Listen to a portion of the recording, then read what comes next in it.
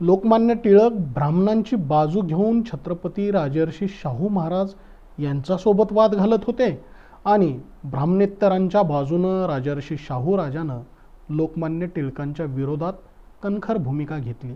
असं सर्वसाधारण आपल्या सगळ्यांचंच मत आहे. म्हणजे वेदोक्त प्रकरणात टिळक आणि शाहू महाराज यांच्यामध्ये झालेला वाद आणि त्यानंतर ताई महाराज यांच्या दत्तक विधान प्रकरणातला वाद हे दोन प्रसंग सोडले तर शाहू महाराज आणि टिळक या दोघांच्या आयुष्यामध्ये अशा वादाच्या किती जागा आहेत? सन एकोणीसशे ते एकोणीसशे वीस या वीस वर्षाच्या कालावधीतील हे दोन प्रसंग वगळता अन्य प्रसंगांमध्ये शाहू महाराज आणि लोकमान्य टिळक यांचे संबंध कसे होते?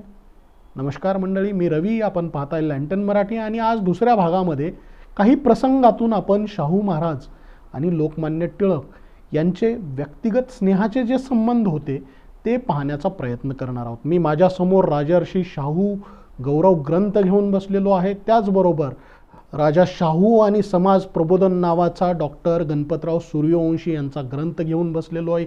यदी फडके यांचं पुस्तक ही बाजूला आहे आणि या सगळ्या पुस्तकातून हे संदर्भ जाणून घेण्याचा आपण प्रयत्न करणार आहोत. छत्रपती राजर्षी शाहू महाराजांना जर ब्राह्मणांचे शत्रूच समजायचं झालं तर छत्रपती शाहू महाराजांच्या आसपास त्यांच्या कारभारात त्यांच्यासोबत त्यांच्या सल्लागार मंडळामध्ये ब्राह्मण होते की नाही हे सुद्धा आपल्याला पाहावं लागेल. छत्रपती राजर्षी शाहू महाराजांची जी एकूण कारकीर्द आहे त्या संपूर्ण कारकिर्दीकडे जर पाहिलं तर शेवटपर्यंत महाराजांचे दिवाण रघुनाथ सबनीस होते. ब्राह्मण होते. महाराजांच्या विश्वासातील दिवाणजी ब्राह्मणच होते. पोंगशे पेडस पेंडसे छत्रे या नावाचेही अजून दिवाणजी होते. महाराजांचे जे खाजगी कारभारी होते गोविंदराव देसाई ते सुद्धा ब्राह्मण होते. कुंभेजकर होते वायंकर होते.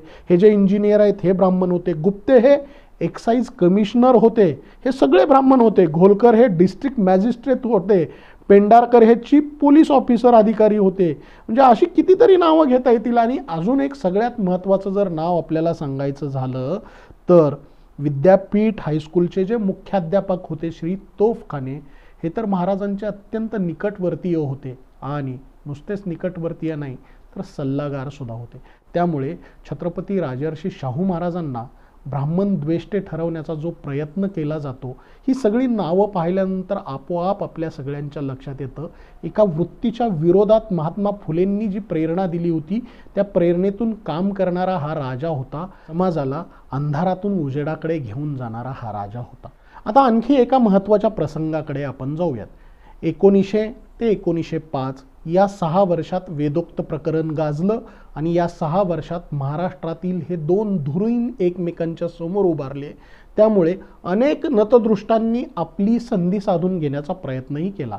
हे प्रकरण संपलं आणि त्यानंतर एकोणीसशे चौदा साली वेदोक्त प्रकरणातून जे कोणी अल्पसंतुष्टी असमाधानी राहिलेले होते त्यांनी पुन्हा एकदा छत्रपती शाहू महाराजांवरती एक दावा ठोकला एक केस केली प्रकरण न्यायालयात गेलं. हा जो खटला दाखल करण्यात आलेला होता तो कोल्हापूर आणि मुंबई या ठिकाणी चालेल अशा पद्धतीची तजवीजसुद्धा या अल्पसंतुष्ट मंडळींनी केली. त्यामुळे या खटल्यातून एकतर निर्दोष बाहेर निघणे किंवा हा खटलाच फेटाळला जाईल अशा पद्धतीचे प्रयत्न करणे गरजेचे होते. त्यामुळे राजर्षी शाहू महाराजांनी लोकमान्य टिळक यांची भेट घेण्याचं ठरवलं. गायकवाडवाड्यात पुण्याला जाऊन लोकमान्य टिळकांची छत्रपती राजर्षी शाहू महाराजांनी भेट घेतली. नेहमीप्रमाणे पोशाख करून राजर्षी शाहू महाराज गायकवाडवाड्यात टिळकांना भेटायला गेले. टिळकांना भेटले आणि भेटून त्यांच्याबरोबर केसबाबत चर्चा करत असताना आपल्या डोक्यावरचा फेटा काढून बाजूच्या टेबलवरती ठेवला. केसबद्दल एकूण सगळी चर्चा केली आणि चर्चा करून फेटा तसाच टेबलवरती ठेवून शाहू महाराज उठून बाहेर आले. गायकवाड बाहेर पडताना राजर्षी शाहू महाराजांच्या डोक्यावर फेटा नाही हे स्वतः टिळकांनी पाहिले आणि फेट्याविनाच गाडीमध्ये महाराज बसत असतानाच टिळक घरात जाऊन टेबलावरचा फेटा घेऊन गाडीच्या जवळ आले.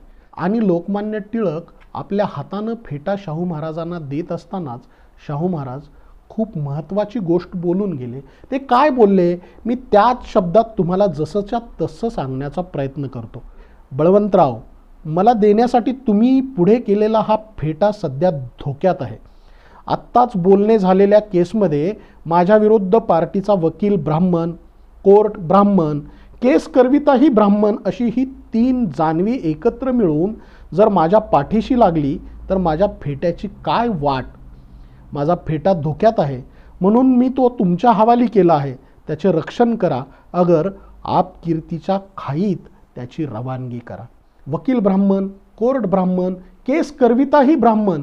त्यामुळे आता या प्रकरणाचा जर छडा लागला तर शाहू महाराजांवर ब्राह्मण द्वेष्टा असा शिक्का बसल्याशिवाय राहणार नव्हता. त्यामुळे टिळकांनाच त्यांनी या प्रकरणामध्ये लक्ष घालण्याची विनंती केली. फेटा शाहू महाराजांच्या हातात लोकमान्य टिळकांनी दिला आणि टिळक अगदी मनापासून उत्तरले. ती वाक्यसुद्धा जशीच्या तशी मी तुम्हाला सांगतो. ती अशी होती महाराज बरेच दिवस मी आपल्या संस्थानातील अन्न खाल्लं आहे. त्या अन्नाचं रक्त माझ्या देहात आहे. आपण सांभाळत असलेल्या शिवछत्रपतींच्या गादीला व माझ्या हातातील कोल्हापुरी फेट्याला मी कदापिही विसरणार नाही. यावर महाराजही गंभीरपणे म्हणाले मग तो तुम्हीच फेटा ठेवा माझ्या डोक्यावर. टिळकांनी महाराजांच्या डोक्यावर तो फेटा ठेवला आणि ते आश्वासनपूर्वक म्हणाले महाराज या केसची अजिबात काळजी करू नका. फक्त निकाल ऐका. या प्रसंगानंतर पुढे तीन महिन्यांनीच हा खटला फेटाळून लावण्यात आला आणि टिळकांची तार महाराजांकडे येऊन पोहोचली. आणखी एका तिसऱ्या महत्त्वाच्या प्रसंगाकडे जाऊयात. मंडालेच्या कारागृहात टिळक असताना टिळकांनी गीता रहस्य नावाचा एक महत्त्वाचा ग्रंथ लिहिला. हे आपल्या सगळ्यांना माहिती आहे. साधारणपणे नऊशे पानांचं ते हस्तलिखित बाड होतं. पण ब्रिटिशांना या ग्रंथाच्या माध्यमातून टिळकाने आपल्या विरोधात काहीतरी षडयंत्र रचल्याचा संशय येत होता. त्यामुळे हे बाड इंग्रजांनी जप्त केले. आणि जप्त केल्यानंतर पाहिले पाहिल्यानंतर खात्री पटली आणि खात्री पटल्यानंतर ते जसंच्या तसे टिळकांना परत केले. टिळकांना ते परत केल्यानंतर त्याची सगळी एकूण कारवाई होऊन ते बाळ पुस्तक स्वरूपात ग्रंथ स्वरूपात प्रकाशित करण्याची तयारी सुरू झाली. मग पुन्हा ब्रिटिशांना असं वाटलं की याच्यामध्ये आपल्या एकूण राज्याच्या विरोधात द्रोह करण्यासाठी काही वेगळ्या गोष्टीत तरी टिळकांनी केलेल्या नाहीत. मग त्यांनी शाहू महाराजांना विनंती केली. म्हटलं आम्ही आता जाऊन ते बाड जप्त करू शकत नाही घेऊ शकत नाही कारण असं जर केलं तर आमच्याविषयी अनेकांच्या मनामध्ये रोष तयार होईल. तुम्ही स्वतः टिळकांकडे जा आणि त्या पुस्तकाची खातर जमा करा. शाहू महाराज टिळकांकडे आले. टिळकांनी शाहू महाराजांना नमस्कार केला. तेव्हा महाराज म्हणाले अहो तुम्ही तुरुंगात काहीसं लिहिलं आहे ना? टिळक म्हणाले होय भगवद्गीतेवर पुस्तक लिहिलं आहे. तेव्हा महाराज म्हणाले मग तेच पुस्तक मला वाचायला द्या तीन चार आठवडे द्या. लोकमान्यांनी ते बाळ त्वरित महाराज साहेबांच्या हातात ठेवले. महाराज साहेबांच्या हातात बाळ ठेवल्यानंतर लोकमान्य दिवाणखान्यात निघून गेले आणि दिवाणखान्यात असलेली मंडळी लोकमान्यांना म्हणाली अहो तुम्ही तुमचं सगळं हे लिखित बाड शाहू महाराजांच्या हातात दिलंय. तुमच्यात आणि त्यांच्यात वेदोक्त प्रकरण ताई महाराज प्रकरणावरून किती टोकाला सगळे मतभेद गेलेले आता हे आपल्याला परत मिळेल का? त्यावर लोकमान्य म्हणाले स्वतः छत्रपती आपल्याकडे पुस्तक मागायला आले. ते न देणे म्हणजे छत्रपती शिवाजी महाराजांच्या गादीचा अपमान करण्यासारखे आहे. मी ते कधीच करणार नाही. छत्रपतींचे व आमचे मतभेद असतील पण मला ते प्रिय आहेत आणि मला त्यांचा शब्द शिरसावंद आहे. हे टिळकांचे शब्द आहेत. माणसं उगीच मोठी नसतात त्यांची मनं मोठी असतात.